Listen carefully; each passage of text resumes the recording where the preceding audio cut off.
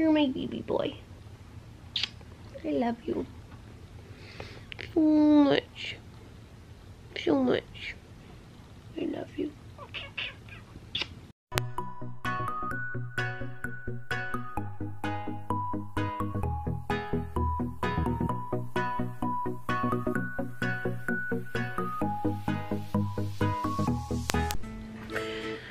So last night we had a little scare with Maximus. Um, he woke up in the middle of the night and was not his normal self. He was pacing like crazy, panting very, very heavily, was hunched, would not lay down.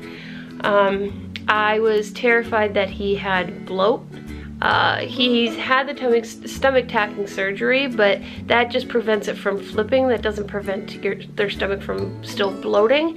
So the hefty part of the surgery of when the dog has bloat is when it's twisted. So they have to go in, untwist it, and all of that stuff if they can save the dog. But because that that's what happened to my first Great Dane. He was a year old. He had bloat. He didn't show any symptoms until the next morning when it was unfortunately too late. And we got him to the vet and he was too far gone for us to save him. So we had to put him down. But with Maximus, um, with my first Great Dane, we found out after he had passed away that there was the stomach tacking surgery you can do for preventing it from the torsion and twisting. We didn't know about that until after he had passed away.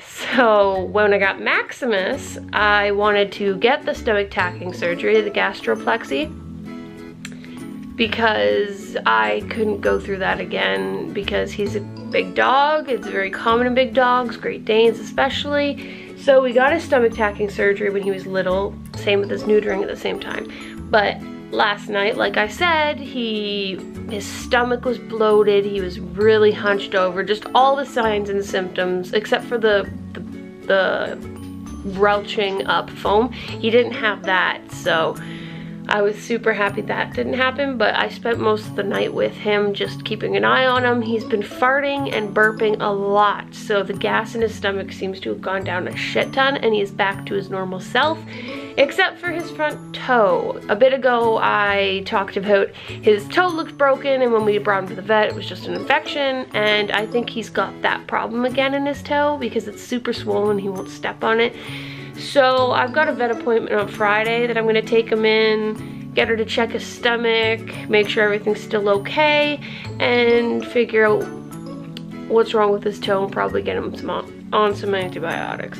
But right now he is just relaxing and enjoying life. Thankfully, I was terrified that he was gonna pass away last night. But look at this cute little boy over here. You scared me last night. Yeah. You scared me. Alright, so not the afternoon that I wanted. I've got to take Max to the vet. Something's wrong with him. He's He seems to be in a lot of pain. He can't walk properly. He's really hunched. So I'm going to take him to the vet and see what's going on. Then I'm going to come home. But yeah. Fuck.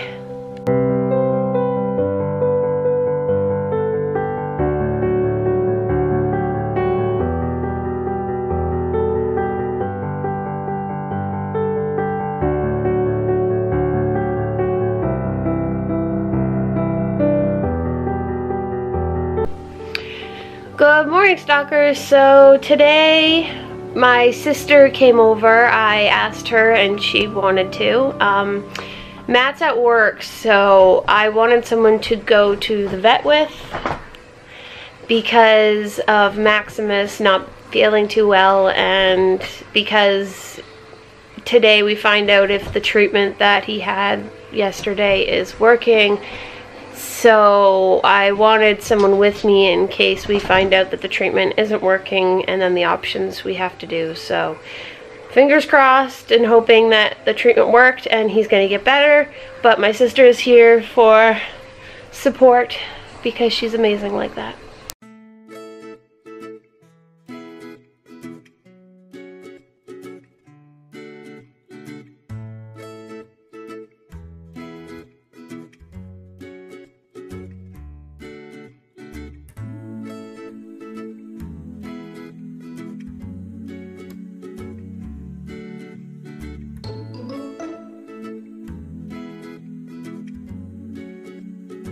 Your food, like sausages and beans.